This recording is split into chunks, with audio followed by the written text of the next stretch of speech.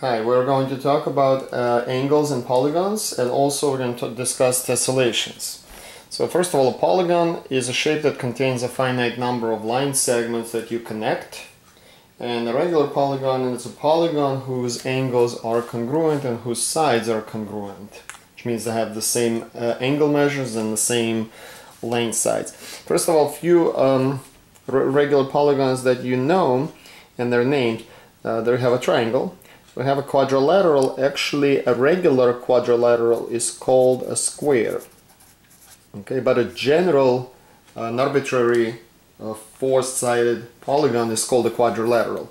We have a pentagon with five sides, a hexagon with six sides, a heptagon with seven sides, octagon eight sides, nonagon nine sides, and decagon ten sides.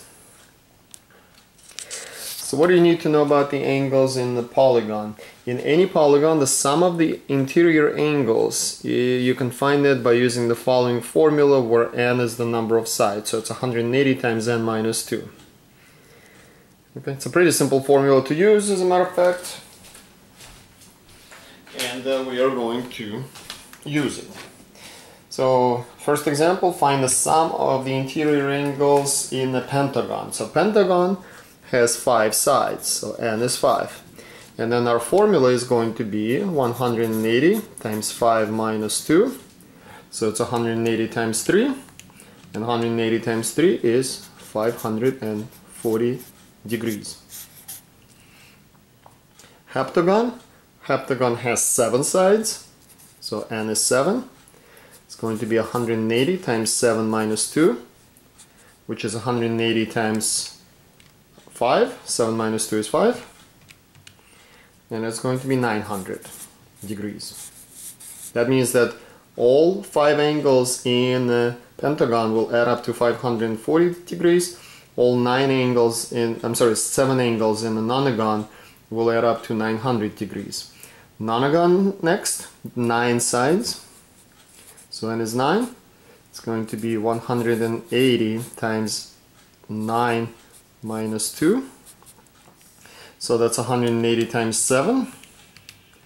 And that's going to be 1260 degrees. Moving on. If you have a regular polygon, how do you find the measure of each angle? Because the what we did so far, we found the sum of all the angles. How do you do it with a regular polygon if you need to know each uh, how much each angle is? So let's do it with a hexagon. Hexagon means n equals 6. So here's what we're going to do. We're going to say, okay, I know that to find the sum of all the angles, I'm going to use this formula. If I want to find the measure of each one of them, since I know they're going to be all congruent, I'm going to divide that by 6. So I'm going to do 180 times 6 minus 2 is 4, and I'm going to divide that by 6, and each angle is going to measure 120 degrees. Okay. Regular octagon means n is 8, 8 sides. So we're going to do 180 times 8 minus 2 divided by 8. So it's 180 times 8 minus 2 is 6 and you're going to divide it by 8 and that's going to give us 135 degrees. Regular decagon, 180, decagon means 10.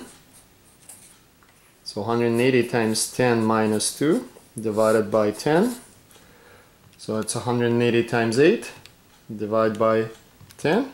And that's going to give us 144 degrees each angle. But this can only be done with regular polygons because then you know that all angles are going to have the same measure, they're going to be congruent, and then you can just divide the total measure of the angles by the number of the angles.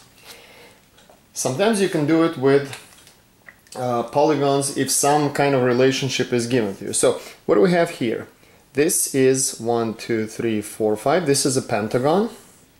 So n equals 5, right? So we know that if you do 180 times 5 minus 3, I'm sorry, 5 minus 2 times 3, that's going to give you 540. What does that number mean? That means that all five angles here are going to add up to 540. So then we're going to add them up. x plus 2x plus 100 plus 140 plus 100 must add up to 540. Right? So then we're going to have 3x plus, that's 100 plus 140 plus 100, that's 340 equals 540. That is going to give us 3x equals 200, right? 200 and uh, we divide both sides by uh, we divide both sides by 3 it doesn't divide so we're going to get some fractional values. That is going to be 200 over 3 which is going to be x. So this angle is going to be 200 over 3 degrees. And this angle is going to be 400 over 3 degrees. Okay? Yes you can express angle measure in the form of a fraction or a decimal let's try this problem so find, we want to find all the missing angles. We really only have one angle given to us. Everything else has some sort of an expression with x. This is a hexagon. So one, one, two, three, four, five, six sides. Not a regular hexagon, so that's why we have to do it this way. So for a hexagon, 180 times 6 minus 2 is going to give you 720.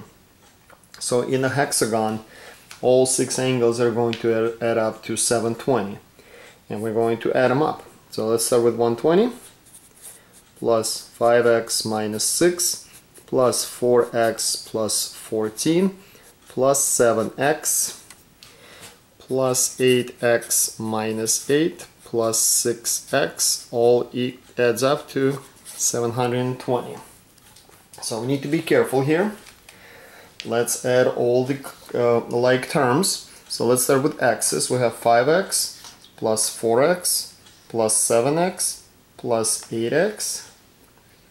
Right, so 5 plus 4 plus 7 plus 8 plus 6. That is going to give you 30x. The numbers, we have 120 minus 6 plus 14 minus 8 is going to give you a plus 120 and all that adds up to 720 subtract 720 we have 30x equals 600 and that means x is going to be 20 well, this is great. We found the value of x, but we still need to find the angle measure. So what we're going to do, we're going to substitute the x value that we got into our expressions and figure out each angle. So we're going to start here. 20, 5 times 20 is 100. 100 minus 6 is 94.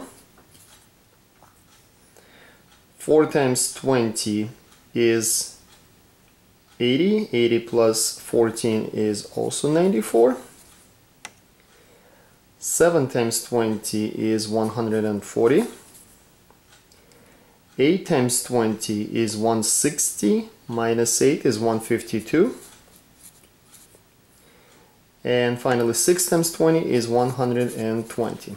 One thing that I do recommend, highly recommend that you add all these angles to check because you want to make sure that it adds up to a 720. So 120 plus 94 plus 94 plus 140 plus 120 is giving us, I think I forgot, oh, plus 152 is giving us exactly 720. So this is correct. Okay. One other thing that you need to know, there's something called an exterior angle of a polygon. So an exterior angle of a polygon is an angle that's going to sit right here on the outside when you extend the side. And one interesting fact about all exterior angles in any polygon, they are going to add up to 360 degrees. There are sometimes problems that they ask you to solve the deal with that. So find the measure of an exterior angle of a regular pentagon. In a pentagon, there are five sides, so n is 5, and uh, we have a total of 360 degrees between all five angles. If you take 360 and divide it by 5, you will get 360 divided by 5 is going to be 72. So that means that each angle, each exterior angle of a pentagon is going to equal 72. Example 10 is asking you this. If an exterior angle is 30 degrees, how many sides does the polygon have? So you have a regular polygon with an exterior angle measuring 30 degrees, and how many sides does that polygon have? We're going to do the following. We, go, we know there are 360 degrees for all of them. If we divide it by 30, that is going to give us the number of sides and it's going to be so 360 divided by 30 is going to give us 12 so it has 12 sides. Okay? So one last thing we need to talk about here is something called tessellation. Tessellations have direct relation to uh, polygons and in angle measures. A tessellation is when you try to cover a flat surface with shapes and you don't want to have any gaps. And uh, you can combine shapes. Sometimes you can just take one shape and use that, or you can uh, use a variety of shapes. But the important thing is the uh, sum of the measures of angles is supposed to be, I made a mistake here, supposed to be 360 degrees. So all the angles around the vertex are going to be 360. How does that work here? Let's take a look. This, these are hexagons. We already know in a hexagon each angle, each interior angle is going to measure 120 degrees. Okay, so that means what? If you have three angles here and you add them together, you're gonna get 120 plus 120 plus 120 this is going to give you 360 this is the desired value. If everything adds up to 360 can't have less can't have more. It has to give you precisely 360 then this is why this tessellation is possible. So as you can see in example 12 you do not use the same shape. This is a combination of octagons and squares. How does that work here? So in an octagon you can do the math. In an octagon well we already did it I believe. In an octagon each angle is going to be 135 degrees. Right you use the formula and it's going to give you 135 in a square as we should know each angle is going to be 90 degrees. So let's take a look around this. What do we have there? We have two octagons and one square. At each vertex, that's what you're going to have. One octagon plus another octagon plus a square. What does that give you? It gives you 270 plus 90 and it is 360. So we got 360. This tessellation is also possible. Okay, and that's all we have for this lesson.